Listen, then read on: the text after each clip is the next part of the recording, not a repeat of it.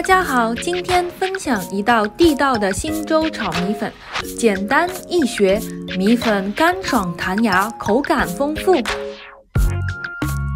首先准备五十克的虾仁，加入盐和黑胡椒，简单腌制。然后准备蛋丝，在锅中加入一小勺油，下蛋液，摊成一个蛋饼，两面都煎一下。出锅切丝。接下来，我们把腌好的虾仁下锅，微微煎熟即可出锅。米粉三百克，下油，加入米粉煎一下。这样做的目的是让米粉更加爽口 Q 弹，并且去除米粉中多余的水分。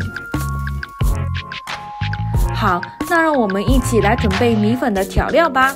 咖喱粉一小勺，姜黄粉零点五小勺，糖一点五大勺，盐零点五小勺，白胡椒粉一小勺。热锅下一勺的油，加入蒜末、豆芽、青椒丝、洋葱丝，你也可以加入韭黄，我这里没有买到，所以就没有放。然后再加入叉烧肉，下调料粉继续翻炒，加入米粉，一勺酱油，翻拌均匀。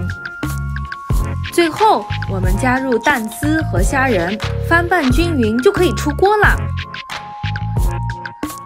这里想要特别推荐一下桑巴酱。